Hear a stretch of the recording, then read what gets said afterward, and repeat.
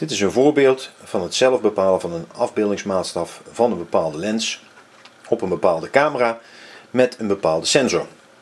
In dit geval is dat een EOS 60D met een APS-C sensor van ongeveer 22,5 mm breed en een 2405 zoomlens en daarop staat macro.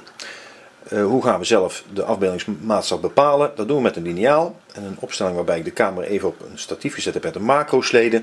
Ik draai de lens even eh, naar zijn verste zoompunt, langs de brandpunt, en de scherpstelring draai ik zodanig dat die op het kortste scherpstelpunt is uh, gefocust.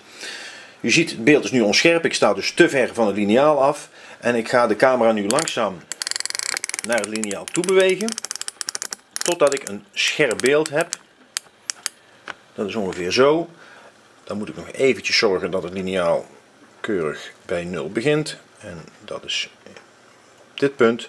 En dan zien we, wanneer we nu een foto zou maken, zien we dat het kader wordt gevuld door 9,3 centimeter. Nou, wanneer we uh, eh, 93 mm delen door 22,5, dan is het ongeveer 4,2. En wanneer we dat 1 gedeeld door 4,2 doen, dan komen we uit op 0,23. En die 0,23 is ook de vergrotingsfactor van deze lens. Dus is ongeveer 1 op 4. Het is geen 1 op 1 macro, maar een 1 op 4 macro. Zo kun je dat voor elke camera en voor elke, met elke lens kun je dat zelf uitvogelen. Je kunt zo ook kijken wat het, de invloed kan zijn van een tussenring of van een extender of beeldom, uh, lensomkering, noem maar op.